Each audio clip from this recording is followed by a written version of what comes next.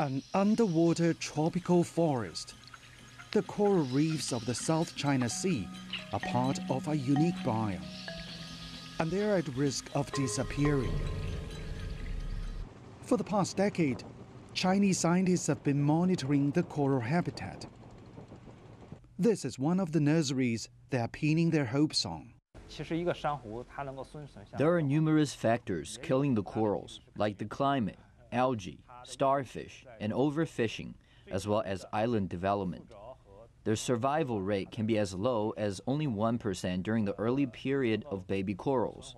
Our job is to increase their chances to survive and sustain.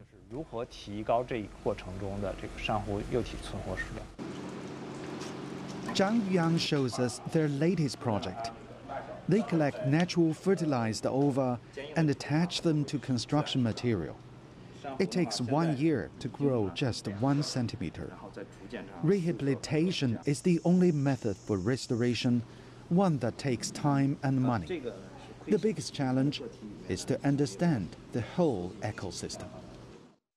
From what we have learned, there's been a rapid loss of the coral reef habitat in the South China Sea. And in some areas, coral cover has just about vanished. And the trend continues that's why restoration is crucial. We first met Zhang Yueyang two years ago. At that time, he was waiting for the baby corals to grow. Last year, these corals were transplanted just offshore the Xisha Islands, also known as the Paracels. It's a difficult task, and the significance is beyond symbolic. The transplanting of corals will help speed up the restoration of surrounding corals. This will certainly take some 10 to 20 years, but it might take 50 years or even 100 years to recover on their own. We got a chance to follow Zhang Yueyang's team on a transplanting operation. Everything must be done by hand underwater. They say the loss of new corals will not only put the existing reefs under threat, but also threaten the existence of the reefs themselves in the long run. This is the same method they used in the Xishas. Zhang Yang says the best restoration is preservation. He dreams coral will once again thrive in the South China Sea. I really want to see one area of corals recover from dying through my work to grow.